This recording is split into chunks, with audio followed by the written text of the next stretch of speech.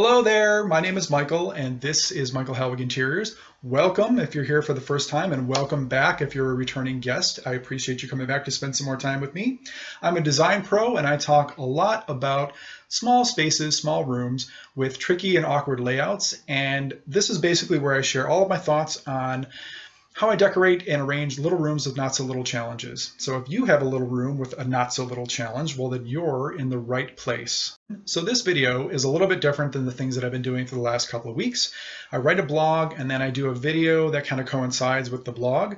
And it's going to be that same sort of a format in, in, in essential ways. But what I'm going to do that's a little bit different is I'm going to do a podcast video sort of mashup that's going to, um, you know, kind of give me a little bit more of a different layer on things. Just trying to kind of stretch my creative legs a little bit and to see what's going to work and what's not going to work. I don't know. We're going to find out. Uh, but really, what we're going to talk about today is 10 incredible expert tips that will elevate your small home to the next level. What I'm going to do is I'm going to link out to other designers that are in different focus areas, and I'm going to see what they have to say about decorating spaces. Now, not particularly small spaces, but what I'm going to do is I'm going to see how I can sort of parlay their advice into the small space arena. You know, no man is an island, and so you need a little bit of advice and some inspiration from other people's every once in a while. So that's basically what it is all about for me today.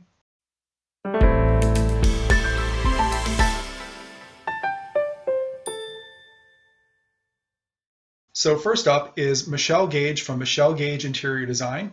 And I was torn as to uh, picking two of her blog posts because they're all so good, but I landed on two that I think are really pertinent for my fellow small space dwellers.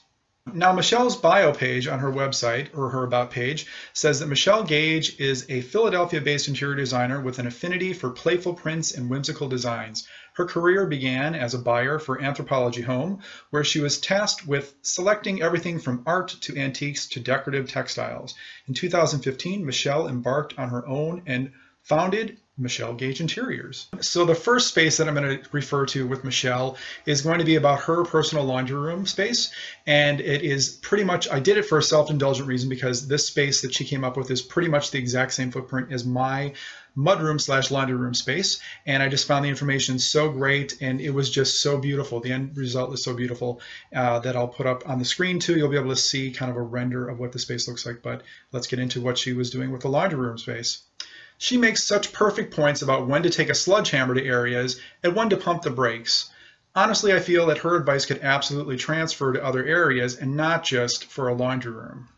Michelle writes, We knew that the washer and dryer had yet to find their forever home. Our plan was always to move them upstairs and had been eyeing a pair of closets, one in the hall and one in an adjacent bedroom, to transform into the laundry room of our dreams. Our intention was to knock down the wall in between the two and open the space up to essentially one large closet. Initially, we were calling this space the laundry room, but in actuality, it was much more of the scale of a laundry closet. As we played with the floor plan and the new opening, we quickly realized all of our laundry room dreams would require knocking down additional walls and potentially coming into a nearby bedroom. We weren't willing to shrink that space and therefore settled on what made the most sense. Next up, Michelle Gage talks about creating a layered living room. Now, I've said this many times on my blog, and I never miss the chance to tell my clients one of the best ways to make your home feel interesting and alive is to layer your decor. Michelle takes this approach and elevates it to the next level by getting personal. Now, in this post, Michelle says, I'm often asked what the secret to finishing off any space is, and stuff is the answer. In order to make your home feel lived in and layered, you need items of various textures, materials, and sizes to fill it. Think metals, ceramics, and glass. When we style client projects, we mix in our vintage and curated items with the homeowner's personal prized possessions to create a completely custom look. I think this advice is essential for any size home, especially small homes. So next up, we have Shavonda Gardner from SG Style. Now, I love this woman's style so much. Her website is just jam-packed full of all kinds of great stuff. The thing that kind of drew me into her was her story about moving into a smaller home with her husband and family a few years back, and her her struggle with trying to figure out what to bring and what not to bring. So the whole, you know, the whole downsizing of your things is a real, real challenge for a lot of people. And so Shavonda kind of shares this a little bit in this post. And let me tell you, she doesn't lose any of her mojo after moving into this house. She still is beautiful. But the struggle was not so much into the downsizing, but was getting rid of her stuff. And because she's a designer and she curates beautiful things for a living, this made it a little bit tough for her. So when you go to Shavonda's website, you can go right into her About page. And the first thing it says is, in the summer of 2014, my family and I ditched our cookie cutter builder grade larger house for a little bungalow half its size. Thus began our journey into downsized life. Every day is a lesson in adjustment, living intentionally, and being happy with less space. This blog serves as a space for me to not only share our story, but also to share my passion for design, travel, gardening, personal style, and inspiring ideas for living large and smaller spaces. Woman after my own heart for this one. So the blog post that I'm going to write about for Shavonda's site today is her her post about carving out some space for all the things, which I think is great, especially for smaller spaces, having, you know, designated areas for different things or, you know, just having the options of putting things different places is very important. Now, Shavonda says the number one piece of advice I give to people when they ask for an easy way to maximize space where it's limited is to use your walls and ceilings. There are so many ways to capitalize on vertical space that I think it gets overlooked. Where you can't spread out, try going up. In our home, I've put our walls to good use in many places, including opting for wall sconces instead of traditional table or floor lamps in the living room. Well, how brilliant is that? Isn't that great? So say, for example, you have smaller end tables or no room for end tables next to the sofa in the living room because your, your room is small. Your wall might be very small and you don't have any room for, for table lamps or floor lamps. Putting sconces on the wall, holy cow, isn't that brilliant? It doesn't take up any floor space. And when Shavonda says instead of going out, go up, that's, that's a wonderful use of space on a wall, don't you think? So next up we have Donna Hoffman from Interiors by Donna Hoffman. Now Donna is a luxury interior designer and she pretty much design pours out of her like water from a tap. She leaves nothing to chance and basically what she does is she applies all of the finer details to the whole room. So small rooms don't have to be boring or drab. And I encourage you to take a lot of the things that Donna says to heart and to apply them to your small space and watch the volume turn up to wow. So when you look at Donna's bio page on her website, on her about page, it says Donna had a unique beginning in design. She was a design client 20 years ago before studying design at Parsons and Temple. Donna believes that experiencing the client side of the table profoundly affected her by making her acutely aware of the normal stresses design clients face. So the post that I'm going to reference from Donna's site is all about the little details that make a big effect, a wow effect actually. And this is all about creating pieces that add excitement and establishing a rhythm for things in the room like your fabric and decor and approaching those details strategically so that you can get an impact that is unexpected and also very, very exciting. So in Donna's wow effect post, she writes, Color, texture, and line help establish a rhythm in a room. Adding even a clean band or simple flourish to an otherwise simple or solid fabric adds a sense of movement. Leather binding around the edge of a rug or nail head border on a stair runner aren't things that you just see in retail design shops but they're gorgeous features that seem so clear to me as a luxury interior designer. Details and rhythm go hand in hand, but the end result is always amazing, beautiful, and spaces feel as wonderful as they look. That is rhythm at work. Couldn't agree more. That is a really perfect way to think about doing little detail things in a room. So even if you have like an area rug that you need to embellish a little bit with maybe a custom border to it, something that you can do maybe DIY yourself, adding a border around a lampshade, taking nail head trim and applying it not only to stair runners, but maybe onto furniture or an ottoman that you might have reupholstered, or it might just need a little bit of an embellishment. So those little details are really what's going to make a space shine, and it doesn't matter if it's a large space or a small space. So next up we have Igor Josifovic-Kemper from Happy Interior Blog. So when Igor moved into his Berlin apartment, he found that he had a very small master bedroom without any storage. So he decided to create a entire wall's worth of uh, a wardrobe out of IKEA PAX wardrobes, and he did some customization to them to make them even more spectacular. So I'm not going to lie, this one was the one that excited me, one of the, one of the ones that excited me the most. And I actually went in and I measured my bedroom closet to see if I could rip it out myself and put this in instead. It is that good and it's very very inspiring. So let's take a look. But before we start with uh, Igor's advice, I want to introduce you to him via his about page on his website. So when you go to his blog and you read his about page, it starts off by saying, when I decided to start Happy Blog, Happy Interior Blog in 2011, my main mission was to bring more happiness to our homes and lives. Little has changed ever after. I strongly believe in the power of happiness brought to us through a beautiful and personal home, inspiring travels, and a healthy lifestyle with plants and surrounding nature. With Happy Interior Blog, I aim to raise the awareness for the space we live in. A home is not simply a space it is our personal haven, a visual identity of ourselves, and a shelter to nourish our happiness. That is so fantastic. So the blog post that I'm going to refer to for Igor is Berlin Styling Bedroom. And as I mentioned before, it's it's the room that he moved into after moving from, I think it was Munich, and he moved to Berlin. Uh, so he brought minimal things with him to this apartment, and he found that he needed a little bit more storage in the bedroom. So what he did was he took this IKEA PAX wardrobe, and he basically embellished it a little bit, had it covered by a company called Reform Copenhagen, and it's basically recovered and restyled, and it looks so magnificent. Out of everything in this blog post, I think that's the thing that kind of grabbed me the most is that it was such an ingenious amount of space that he used and that it was so perfect that he kind of like shows you also how to go into styling a bedroom and really what to do. He's got a very, very solid philosophy of how to approach design. And he actually walks you through the whole process from step by step to get to the end result so that you can have a serene and beautiful, cozy bedroom, which I think is so important, don't you? So when you go to Igor's blog post, the thing that you're going to see is a quote from him probably in the middle of the blog post and it says probably the most crucial part was finding a new wardrobe. This time the wardrobe needed to be spacious enough for two persons but it should also not be too dominant in the room Finding a big and stylish wardrobe can be daunting though. My solution was a combination, an IKEA PAX wardrobe, structure, and interior covered with stylish fronts by Reform Copenhagen. So let's unpack this for just a little bit more and I'll kind of give you another idea of what I think is a good way to go about doing something like this.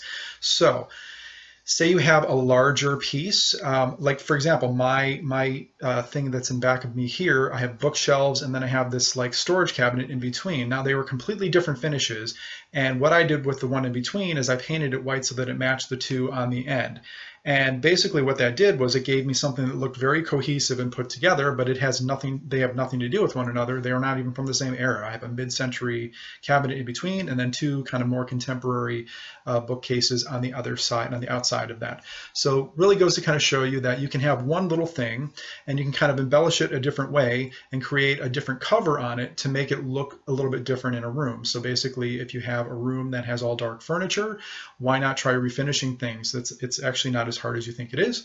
And or you can paint things darker or paint things lighter to go into a room. So it just depends on what your, your design style is and how you want to go about maybe taking something from one iteration to a completely other iteration. So next up we have Ann Lowengart from Ann Lowengart Interiors.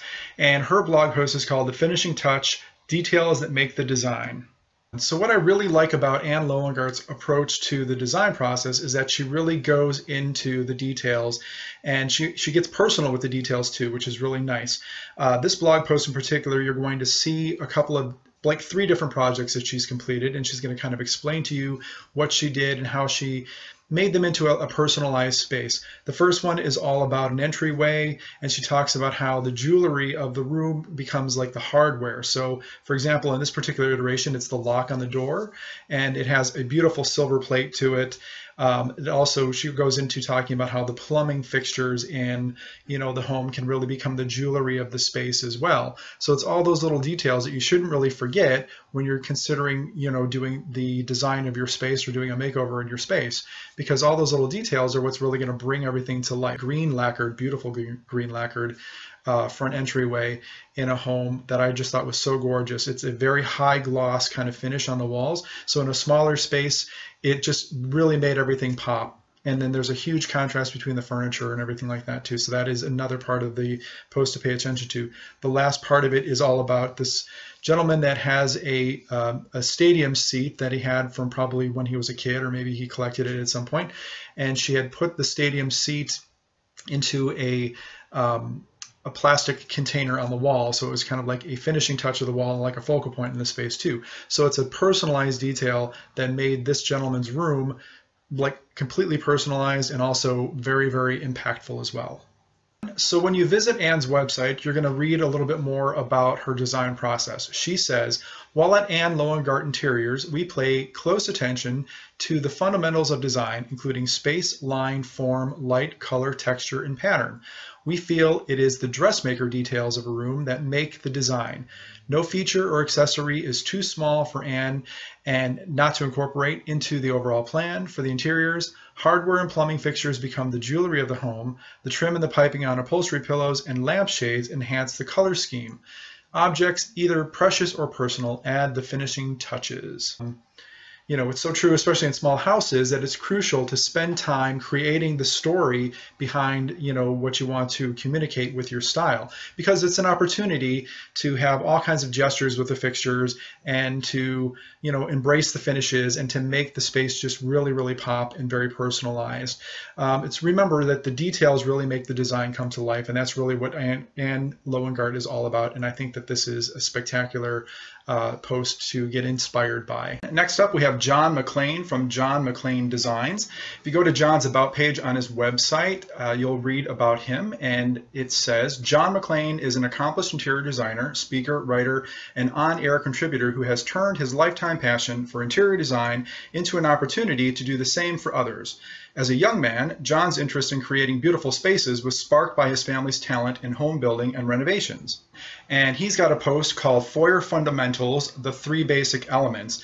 And basically what John is going to talk about in this post is how to make your foyer a much more functional space. So even in smaller, smaller areas, you can still get a lot of utilization by following three basic rules, and that is a place to stand, a place to land, and a place to store. So basically it's you got to have room to, to be able to move into the space so it's you're not kind of like crowded around into a space you got to have a place to maybe sit down. It would be great to have like maybe a stool or a small bench or a chair in a small foyer to be able to sit down and put shoes on, to, to put your purse down on, to, you know, tie your tie up your shoes or put your socks on, whatever whatever has to happen in that space. Maybe it's a place for the kids to like throw their stuff underneath the bench or the chair while they're taking their shoes off to run, you know, through the house after school or before school. And then also a place to store things. So even if it's just a small cabinet or something that has drawers in it, that would would be ideal too. So those are the three things to, to remember about a, a foyer, and I think that John McClain hits it right on the head. So even in the smallest amount of space, you still have the functionality to stand, land, and store as well. And then John also says in this post about foyers, quote, like the cover of a best-selling novel, the entryway sets the tone for the rest of your home. It's important to reflect the homeowner's personality while not overwhelming the senses to create an atmosphere of comfort and serenity. Even with a small space, you can still make a big impact by utilizing every square foot. Very good advice. So now we have Shannon Voss from Voss Creative. When you go to Shannon's website and read about him on his About page, it says, Shannon has always been fascinated by design, stemming from his early years staring up at buildings in wonder to spending 10 years in the construction industry. Having spent almost a decade traveling and experiencing diverse cultures, Shannon has developed a passion for all forms of design. Now, the more interesting stuff about him is this finally led him to Sydney. Prior to winning Channel 9's The Block Glass House, he studied and gained distinctions in interior design. And he says, quote, winning the most popular and quite honestly the most grueling renovation show in Australia has given me an insight not too many people see. I'm very lucky to have been given this opportunity, end quote. His appreciation of light, texture, and shape saw he and his brother excel in the show and move to, on to bigger and bolder things. And Shannon writes about a favorite topic of mine, and that is three different types of rooms. So we have a long rectangular room, we have an L-shaped room, and we have the square room. Now each one of those types of rooms comes with their own set of little bit of tricky or awkward places to get tripped up on. And they're they're hard to decorate around. They're hard to arrange. Like for example, the L-shaped room, where one begins and one ends. That's that's a common thing that I hear quite a bit. The long rectangular room is usually, of course, longer than it is wide. So finding furniture to fit into that space is a challenge. And then square-shaped rooms you know, sometimes you have a doorway, sometimes you have a closet in the room, and then you, you know, so for example, if it's a bedroom, what size bed fits into this space. I've gone into that quite a bit in a lot of my different blogs. I did a post on a dining room which was eight foot by eight foot, so I know a little bit about this as well. Uh, Shannon actually gives you a really great article to read that was originally published in a magazine called Inside Out Magazine. And basically, what it is is when you go to this particular blog site, you have to click through to the PDF that is linked through that magazine because that's where all these tips are. And believe me, it's worth it. It's a wonderful, wonderful resource. And Shannon's going to be very, very generous and give you lots of things to think about. So we'll, we'll kind of start off a little bit. There's a quote that I think is really funny on this particular post, and it's prior prior proper preparation prevents piss poor performance.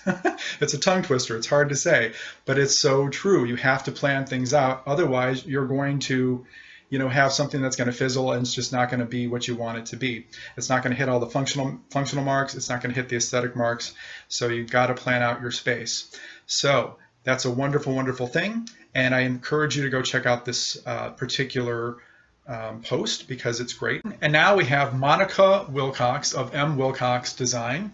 So when you go to Monica's website, you hit the little tab that says Meet Monica. That's her About page.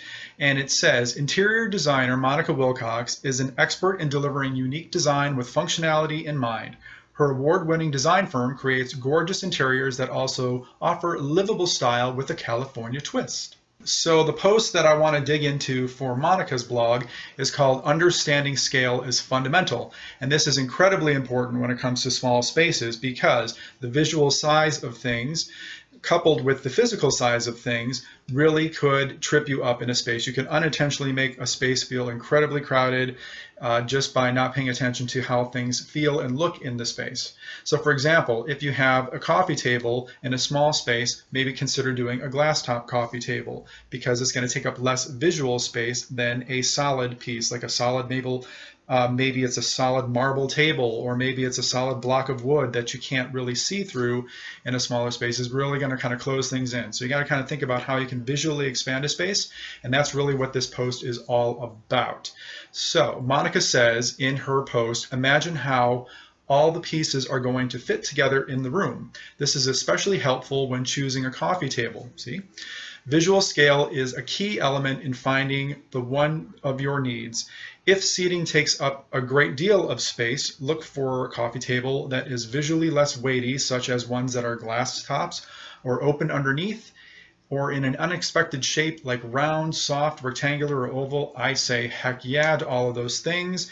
You know, I always say rounded edges are so much more easier to move around than squared off edges. So especially in a small spot, in a small space, like say for example, you have a long rectangular living room, like we just talked about a minute ago with Shannon Voss's post a long rectangular living room, you can't really have a big square chunky coffee table in it because you're going to take up, you know, a lot more physical space than you need to. You have to also consider that your sofa is going to pop off the wall a good, you know, 35 to 42 inches most of the time. And then when you add a coffee table that could be like four foot by four foot, you're just, you know, that's the whole room. That is the entire width of the room. So you really got to do something kind of long and skinny. So why not do something with rounded edges, like maybe an oval shape, or maybe you're doing something like a kidney shape when it comes to something maybe that has a little bit more of a mid-century modern type of twist to it. You got to think about those kind of things because that's what's really going to make your room a little bit more successful than if you just sort of put everything in and hope for the best. You got to kind of plan things out. So the next blog that I want to reference is from a group of bloggers, actually a group of women who have this company called Affordable Interior Design. Now, This company is great because they are a virtual interior design company, something very close to my heart. They have a podcast and they also do online classes that teach people how to, you know, get the look for less and, and it's a great resource for uh, for you if you're looking into that kind of uh, information. So when you go to their about page, they have a nice little blurb that says, quote, we are a small team of superstars our designers have worked at high-end places, Armani, Thom Filicia Incorporated, the Metropolitan Museum, Soho Grand Hotel, etc., where we shopped and spent thousands on furnishings for our exclusive boutiques for our clients. But that's not where we shop for ourselves. We translated Lux Looks into Lux Looks to fit our budgets at places like West Elm, Overstock, and IKEA. In 2005, our founder had an aha moment. Let's do this for our friends and family and everyone we know. And just like that, affordable interior design was born. Our passion is creating upscale looks for much less. So the post that I want to reference from this group is called Shoe In, Seven Clever Ways to Include a Shoe Cabinet in Your Closet. So this one was a game changer because it took some incredibly tight spaces and made the most sense when it came to shoe storage. Um, I'm just going to read from my from my blog post because I think that this is going to encapsulate everything that I want to say about this post because it you know it, it's it's really good. So um, we all have them. We can't live without them. Shoes, but shoes are one of the most clutter-causing items we can own. I'll say it, if you pile your shoes right inside your door, you're not only potentially ruining some of those expensive items in your wardrobe, but you're making your house look a mess. When I came across Affordable Designs blog, I zoomed right in on their post about the seven clever, way, clever ways to include a shoe cabinet in your closet. And I most definitely shrieked out loud because it's one of the most game-changing things that I've come across. Let me tell you, it's like Carrie Bradshaw swooped in and made magic out of madness. Don't think your space or your closet can have a dedicated shoe cabinet? Well, naysayers, Check this post out because you'll see exactly how to change your shoe storage in the most imaginative and beautiful way, closet or no closet, no lie.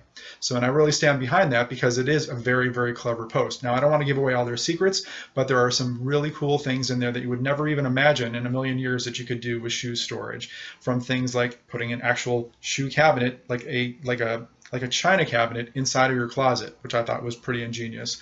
Having posts up on the wall, if you don't have a closet, it's like an open display where you can actually make your shoes the art in the space. Now, I'm not going to ruin it for you. I really want you to go read this post because I think it's really spectacular.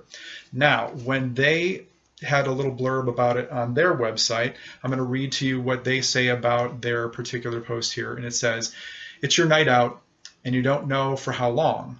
You have the perfect pair of shoes in mind for a gorgeous time under the stars sipping mojitos, but when you pull your coveted lemon yellow leather stilettos from under the bed, you find that the left one has a deep crease and the right one has an indelible spot of dirt that could only rival any Rorschach test. So we've all been through that, right? Well, I don't particularly wear heels, but I've got nice shoes. And if you have your shoes stuffed up into crevices and corners all over the place, you're destroying expensive, probably the most expensive part of your wardrobe, right? So you want to be able to take those shoes and make them into something spectacular. Now you can do all kinds of different things, and these ladies go into great deal with what to do with your shoe storage to make it spectacular and, and, and just beautiful. Now for my last blog post that I'm going to reference, I'm going to stick with the affordable interior design ladies and I'm going to go in with one of their other blog posts that as I was scrolling through, I came across and I thought this is right up my alley. It is called Space Jam, 660 square feet of an apartment. Okay, so let me lay this out for you a little bit. This particular post is about two people and two children living in 666, 660 square feet. Now, I wrote a post a while back on a studio apartment in New York City that was 224 square feet, which is which is pretty small, and that was for one person. So if we do the math on 660, everybody it's going to be 165 square feet for each person. Now that's that's really great. That's really crazy. Now, yes, maybe the parents have a little bit more space than the kids do, or maybe the kids have more space than the parents do. You don't know. So get into this post and you'll read all about it. But I can tell you that there are some incredibly ingenious ways that they went about laying out this space.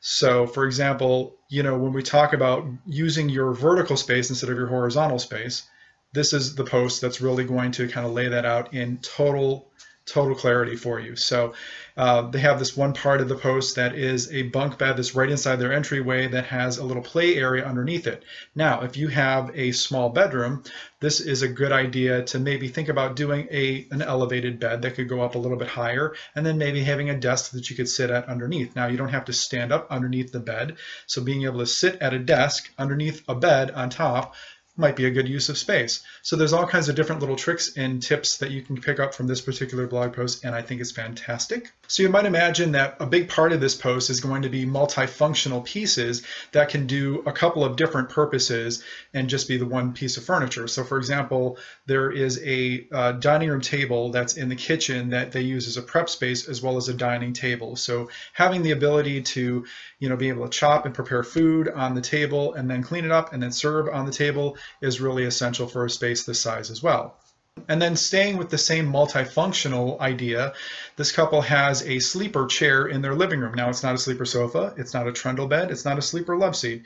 It's a chair and a half that has a mattress that you pull out into a single like cot size bed that one person or a little kid could sleep in for a night or a weekend. So thinking about things that will give you everyday functionality like a chair in the living room and then being able to turn it into an extra sleeping bed for a night or a weekend is great because it gives you multifunctional and also gives you an economy of space too. So two in one, think about those kind of things as well.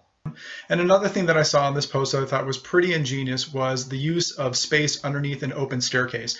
Now this staircase happens to go up to probably a second loft area, smaller area probably upstairs uh, that doesn't take up the entire expanse of the apartment, but it is probably like a little loft area up there for like a bedroom or something, I would imagine. But the part that I thought was really ingenious was underneath that open staircase getting up to that level is a space that is a long table that has a couple of chairs. There's a few computer uh, stations there. There's also a, a, sewing machine that I noticed there, and there's a gallery wall that kind of goes around in the space as well. So this is also a space that is in the in the living room area, but it isn't part of the functional seating area of the living room. So it's also going to be considered probably like a dead space. Like what would you do with this space other than put something very useful there? Now you could put a cabinet in there, you could put a china cabinet in there, you could put up closed storage, bookshelves, whatever else, but that really doesn't give you multifunction and that's really what the whole idea of this post is. So having a desktop with a computer station, there's some storage in there and there's also the functionality for like a little sewing area in there for a sewing machine and whatnot. Uh, so it isn't just storage, it's actually a space to sit and do things for a specific purpose is another thing to really think about in smaller spaces. So there you have it, 10 incredible expert interior design tips to elevate your small home to the next level. Hope you really enjoyed this video. If you did, I'd love for you to like and subscribe for more uh, because every week on Sunday, I'm going to release a new video. And if you like and subscribe, well, if you subscribe, you don't have to like, but I would appreciate if you liked. But if you do subscribe, you will get a notification that I am uploading a video. So that will happen on Sundays. Might not be always the same time. It's going to be sometime on Sunday. And then it looks like my buddy Mark Marky over here has now decided to join us for our saying goodbye. Uh, she hasn't been here for most of the video. She's been sleeping in the other room. Now she's decided to come back in here. So that's cute. She likes to do that. Um, it's her house. I just live here, you know, or she lets me live here. I, I don't know how it works there was a lot of stuff to unpack today, wasn't there? So there was all kinds of great tips for small spaces. Hope you really enjoyed hearing these 10 tips from these eight experts. I think that they're really wonderful. I got a lot of new kind of angles on different things. Some of the things that I read about um, that I kind of researched about, I should say, were things that I really knew about already, but different takes on them and different ways to kind of go about, um, you know, thinking about them for smaller spaces and how they can apply. I'd also love it if you go over to michaelhelwiginteriors.com and read about the things that I write about, small spaces, awkward rooms, tricky layouts, all kinds of different things over on my blog. It's been going on since 2017, so there's a library of stuff that goes back for five or six years where you can kind of get into all types of different little things about small spaces and um, it's a great resource to go and check out. So thanks again for stopping by and have an amazing week. Until next time, keep your dreams big for your small spaces.